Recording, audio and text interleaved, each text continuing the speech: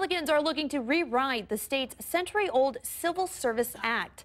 They want to ditch the state hiring exam and make it easier to fire employees. A bill that's still in the works would transition the state to a resume-based hiring process. Republicans say the current exam doesn't show how qualified someone is for a spe specific job and wastes time.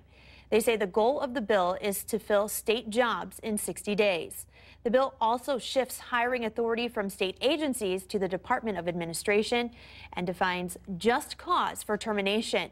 Supporters of the proposal cited one case where a public employee was clearly acting inappropriately on the job but was not fired.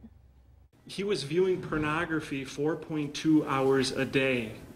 They tried to get rid of them, but the work commission sent it back saying, no, you have to keep him because you didn't tell him ahead of time that this was behavior that was frowned upon. Which is why we decided we're going to come up with a tight definition of what just cause is. Wisconsin has had a proud, long, sterling reputation for having a civil service sector, uh, service, civil service system that protects against cronyism, protects against uh, uh, having just basic fairness for workers. Representative Barca says the bill is not out yet, but he's predicting an extreme right-wing approach.